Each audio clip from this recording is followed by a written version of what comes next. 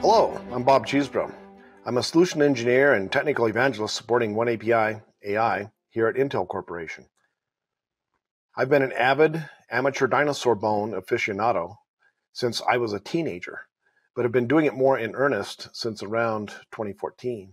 I've collaborated with the New Mexico Museum of Natural History to have over 2,000 bone site descriptions recorded. I've been working in data science since around 2013 and have applied data science principles to multiple clients and multiple use cases.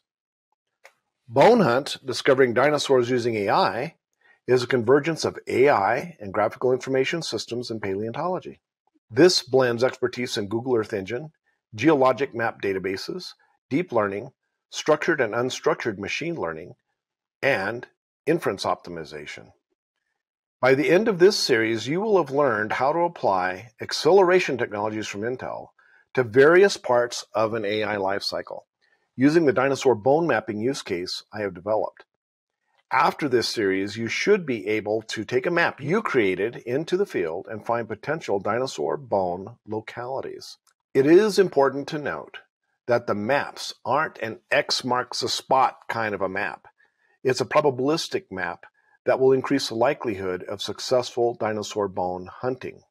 In this series, we'll explore the AI Analytics Toolkit with machine learning algorithms in scikit-learn, deep learning algorithms like ResNet in PyTorch, and accelerating inference on Intel CPUs and Intel GPUs. I want to encourage you to follow all laws regarding vertebrate fossils it is illegal to collect all vertebrate fossils from public lands, period. Private lands are subject to private landowners. Please leave fossils in the field for posterity and for the enjoyment of future bone hunters.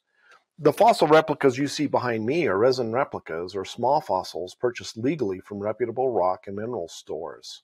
Every week for the next 11 weeks, we will release a new episode, and once the series is completed, the videos will be available for replay. Next week, we're going to look at the makeup of bones and how you can identify them from rocks, minerals, and other types of fossils.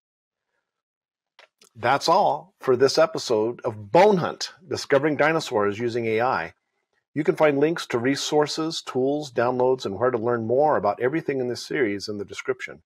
Remember to like and share this video and subscribe to the Intel Software YouTube channel. And with that, let the adventure begin